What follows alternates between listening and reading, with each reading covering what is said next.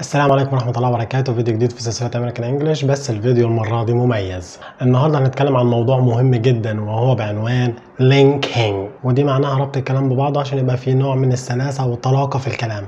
لو انت فاكر إن السرعة في الكلام هي اللي هتخليك تتكلم زي الأمريكان أحب اقولك إن الكلام ده مش صح. وتعالوا نجرب.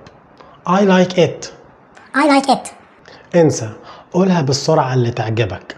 تعالوا نسمعها كمان مرة بهدوء كده وبالراحة. ونشوف مين اللي هو شبه الأمريكان أكتر.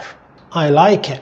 السر هنا في اللينكينج. بس لازم نفتكر إن مش مجرد فيديو هو اللي هيخليك تتكلم بطلاقة ولكن الفيديو ده هو اللي هيدلك على الطريق وإنت عليك إن إنت تمشي الطريق للآخر. قبل ما نبدأ في موضوعنا النهاردة في معتقد كده إحنا كمتحدثين غير أصليين للغة بيكون عندنا الاعتقاد ده. الاعتقاد ده هو إن لو إحنا نطقنا الجملة كلمة كلمة وحرف حرف كده المعنى بيكون واضح ومفهوم. ولكن ببساطة الطريقة دي بتخلي الكلام بتاعنا غريب وعامل كده زي الإنسان الآلي. طيب نتغلب على المشكلة دي إزاي؟ من خلال ال linking. موضوع النهاردة. ببساطة كده ال linking هو إننا بناخد آخر حرف في الكلمة بنربطه بأول حرف في الكلمة اللي هتيجي بعدها. وطبعا ده هيكون بشوية قواعد كده صغيرين هنتكلم عنهم دلوقتي. يلا بينا نشوفهم. وأول قاعدة معايا النهاردة لما يكون عندنا كلمة آخرها ساكن والكلمة اللي بعدها أولها متحرك بناخد الساكن من الكلمة الأولى وبنبدأ بالمتحرك بتاع الكلمة التانية. زي الجملة اللي اتكلمنا عنها من شوية I like it. بنعملها إزاي؟ I like it. بالراحة بس هتحسوا إن الكلام American accent. I like it. مثال تاني لو خدنا الكلمتين دول hold on لو قلناها hold on كده الوقفة اللي في النص دي ملهاش لازمة طب نقولها إزاي hold on وتعالوا نشوف جمل الممارسة can I come in yes come on in the door is open should I leave it on no turn it off what time is it it's already 5 o'clock Let's take a walk. That's a good idea. How far is it? Four and a half hours away. This is a good film. Too bad it's sold out. I have an awful headache. Take an aspirin. This is my brother in law. We've already met. القاعدة التانية. لو الصوت الساكن في آخر الكلمة هو هو نفس الصوت الساكن في أول الكلمة اللي بعدها. بننطق الصوت بس بنطوله شوية وما بنعملش توقف في النص. زي مثلا he speaks Spanish. ما نقولهاش he speaks Spanish. لا الوقفة دي ملهاش لازمة. هتبقى he speaks Spanish. It's a black cat. مش هنقولها it's a black cat. هنقولها مرة واحدة it's a black cat وتعالوا نقرا الثنائيات دي للممارسة big game far right stop playing can never book club good day this Saturday what time ودلوقتي معانا جمل للممارسة المهم ان احنا نقرا الجمل دي اكتر من مرة both things are from me stop playing and help Paul she's single and she's so happy I am married and I am miserable. It was so nice to meet Tom.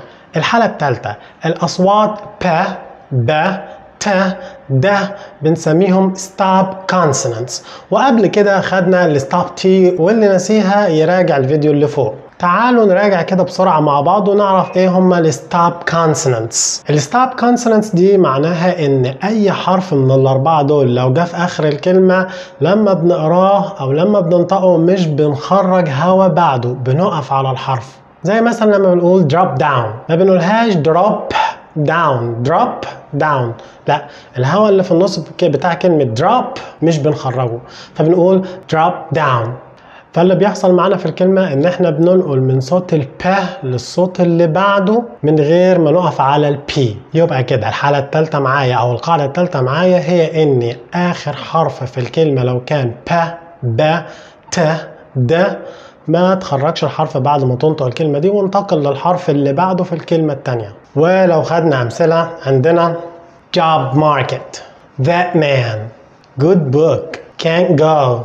Drop down. القاعدة الرابعة هي إن لو كان عندي كلمة آخرها فاول والكلمة اللي بعدها بتبدأ برضو بفاول ما نقفش بين الكلمتين وعلشان يكون الانتقال طبيعي كده بين الفاول الأولاني والفاول التاني بنضيف من عندنا صوتين إما اليا أو ألو ونخلي بالنا اليا بنضيفها بعد الأصوات A I أ إي أما ألو بنضيفها بعد الأصوات أو أ أو أو. اللي نسي طبعا الأصوات والرموز دي يراجع الفيديو اللي فوق ده علشان يفتكرهم. وتعالوا نشوف مع بعض أمثلة قل ولا تقل. يلا نبدأ. مش هنقول I ate out. حتى لو قلناها بسرعة I ate out. دي طريقة إنسان آلي. طيب لو عاوزين نقولها American accent بتكون I ate out. لا تقل may I come in ولكن قل may I come in لا تقل they agree قل they agree لا تقل I'll buy it قل I'll buy it لا تقل he ate out قل he ate out لا تقل go on قل go on لا تقل so awesome قل so awesome لا تقل I know it قل I know it وتعالوا نشوف جمل للممارسة Why are you so upset? I am not. Who is he? He is the announcer. How is the weather? Go outside and find out. Do I need to do it? No, I already did it. كده إحنا الحمد لله خلصنا ال linking. وقبل ما نختم الفيديو عاوزين نعرف هي the ولا the. بننطقها the لما تكون الكلمة اللي بعدها بتبدأ بساكن. زي مثلا the banana the car وبننطقها ذي لما الكلمة اللي بعدها بتكون بتبدأ بصوت متحرك. زي مثلا the apple the elephant وبننطقها ذي كمان لما يجي بعدها ساكن. بس قبل ما أقول الساكن ده بفكر شوية أو بتردد شوية. زي مثلا لما أقول the banana أو لما أقول the car. وأنا هنا في الموقف ده يا إما بختار بين اتنين أو بتكلم عن حاجة بس متردد إن أنا أتكلم عنها. فبقف شوية على كلمة the بنقولها the car. مش بنقولها ذكار بنقولها ذكار لما أكون أنا مش متردد وبقول الكلمة على طول. وبكده وصلنا لنهاية الفيديو واستنونا إن شاء الله في الفيديو القادم هيكون عن الريدكشن وده هيخلينا برضو إزاي نسرع الكلام بتاعنا ونخلي الكلام بتاعنا في American accent. والسلام عليكم ورحمة الله وبركاته.